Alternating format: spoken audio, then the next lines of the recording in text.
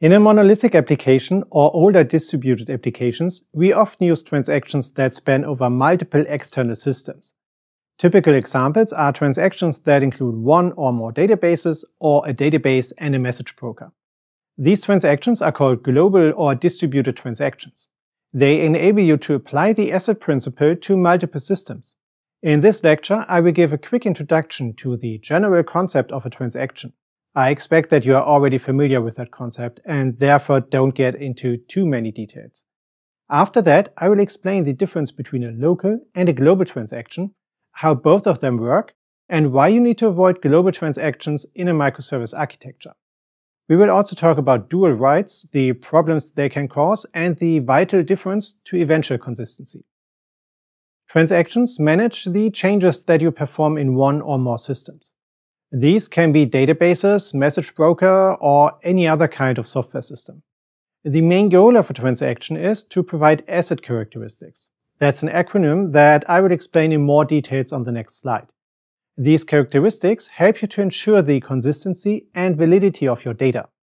To make it even better, all modern application stacks make managing transactions extremely easy by implementing the JTA specification.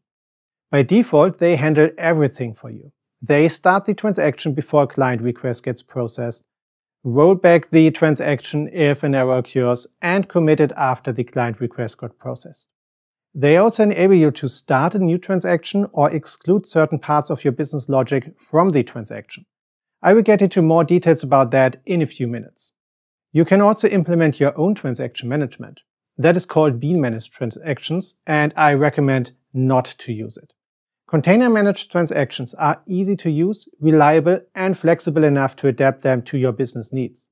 I will therefore not get into any more details about bean managed transactions in this course. Transactions provide you ACID characteristics. ACID is an acronym that stands for atomicity, consistency, isolation, and durability. Let's take a closer look at all four characteristics. Atomicity describes an all or nothing principle. Either all operations performed within the transaction get executed or none of them. That means if your transaction gets committed successfully, you can be sure that all operations got performed. It also enables you to abort a transaction and discard all operations that you already performed if an error occurs. The consistency characteristic ensures that your transaction takes the system from one logical consistent state to another logical consistent state. That means that either all operations were rolled back and the data was set back to a consistent state, or the changed data passes all consistency checks. In a relational database, that means that the modified data needs to pass all constraint checks, like foreign key or unique constraints, defined in your database. Isolation means that changes that you perform within a transaction are not visible to any other transactions until you commit them successfully. Durability ensures that your committed changes get persisted. And that is the ACID acronym. As you can see, a transaction that ensures these characteristics makes it very easy to keep your data valid and consistent. But ACID transactions are not the only way to achieve that. A lot of modern applications rely on a concept called eventual consistency. While ACID transactions ensure that your system is always in a consistent state, eventual consistency only ensures that it will be consistent at some point. That means that if you stop changing your data and wait for some time, all read operations will return the last updated value. That's a much weaker guarantee than an ACID transaction provides. That makes scaling and high availability much easier. Eventual consistency doesn't require you to keep all involved systems in sync all the time. It's okay if one or more systems get updated asynchronously, which improves the scalability and robustness of your system. That makes eventual consistency especially popular in large, distributed applications. Several of the patterns that we will discuss in this course follow the eventual consistency principle. They, for example, replicate data asynchronously, so the data managed by each microservice is consistent. But if you change data that gets replicated to other services, some of these replicated data stores might not be updated when you perform the next read operation. Depending on your use case, this can be totally fine or a huge problem. It, for example, isn't a problem if the reviews in an online bookstore are updated in an eventually consistent way. When you look at a book, it doesn't really matter if you see 100 or 101 reviews, right? But that's not the case for the inventory when a customer places an order. You should be sure that you can fulfill the order before the customer pays for it. So you probably need an ACID transaction or another way to ensure that you use the correct data when processing the order. After we talked about ACID transactions and eventual consistency, we also need to talk about dual writes. As Gunnar Morling always says, friends don't let friends do dual writes. But why not? And what exactly is a dual write? A dual write are two write operations performed on two different external systems without a distributed transaction. This is the simplest way to update two external systems, but also the most dangerous one.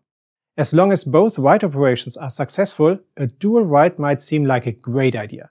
It's easy and it scales great. But what happens if the second write operation fails? You already performed the first one and can cancel it. You might try to handle that by performing the inverse operation of your previous update. But that's often complicated and there's no guarantee that it works. The inverse operation might fail, or even worse, your application crashes before you can perform the inverse operation. There are lots of different scenarios in which a failed second write operation of a dual write results in inconsistent data. In the best case, your support team can fix it before the inconsistent data gets used. But most often, you either need to keep the inconsistent data or you need to roll back to the latest backup. I think we both agree that this is not something we want to explain to our manager or customers. And to make it absolutely clear, eventual consistency and dual writes are two completely different things. Eventual consistency guarantees you that at some point your data will be consistent in all systems. Dual writes don't guarantee you anything. If everything goes well, the data in all systems will be consistent. But if anything happens, you get inconsistent data and your job will be to find a way to fix that. Okay, let's get back to ACID transactions. I think I made it clear that you either need eventual consistency or ACID transactions to ensure the correctness and consistency of your data. ACID transactions provide a stronger guarantee, and that's why we use them for local transactions. But global or distributed transactions are not a good fit for a microservice system. Let's take a look at both of them and explain why that is the case. As mentioned earlier, all major Java platforms provide you with an implementation of the Java Transaction API, and you should use container-managed transactions. By default, they get automatically started before your business code gets executed and it gets automatically committed or rolled back after the execution of your code. If you implement a REST service, for example, the transaction gets started when the client calls the REST endpoint and it gets committed or rolled back when the REST endpoint returns the response to the client. You can adjust that behavior by annotating your methods with a transactional. You can use this annotation in Spring, Spring Boot, Jakarta EE, and MicroProfile. Typical use cases in which you might want to do that is if you want to deactivate a transaction or start an additional transaction for a part of your business code. But before you do that, please make sure that you understand what that means for your read and write operations. This is out of the scope of this lecture, but you can find great explanation for that in your Spring, Jakarta EE or MicroProfile documentation. Okay, let's compare local and global transactions. Similar to a monolithic application, microservices heavily rely on local transactions to ensure the correctness and consistency of their data. The only difference is that local transactions in a microservice tend to be shorter than local transactions in a monolith. That's simply because your microservice does less than a monolith. The main idea of a microservice is to only focus on one responsibility. As a result, tasks that the monolith handled in one local transaction might become the responsibility of multiple services. Each of them uses its own small local transaction. A local transaction is very efficient. You or your container start a transaction before you interact with your database.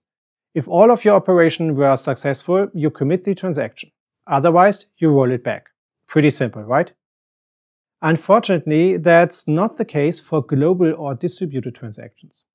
They use a pattern called two-phase commit. This pattern describes a complex process that requires multiple steps, And that's the main reason why global transactions are slow and why you should avoid them in a microservice architecture. As you might have guessed from the name, the main difference between a local and a global transaction that uses the two-phase commit pattern is the commit operation. As soon as more than one system is involved, you can't just send a commit message to each of them. That would create the same problems as we discussed for dual writes.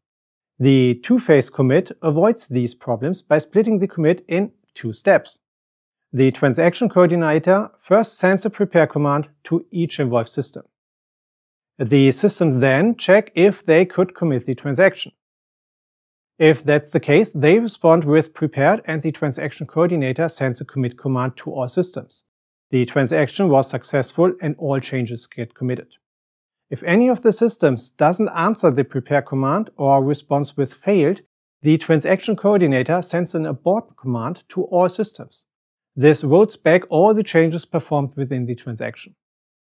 As you can see, a two-phase commit is more complicated than the simple commit of a local transaction. But it gets even worse when you take a look at the systems that need to prepare and commit the transaction. After a system confirmed the prepare command, it needs to make sure that nothing will change until it receives the commit or abort command.